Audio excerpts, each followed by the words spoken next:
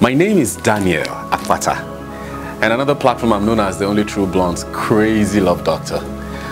But the truth of the matter is, NLP has been phenomenal for me because it has broken down the essence of my being in the sense that I now understand better how to relate with people, how to internalize, and how to give and take feedbacks, and of course, how to look at people and understand where they are coming from.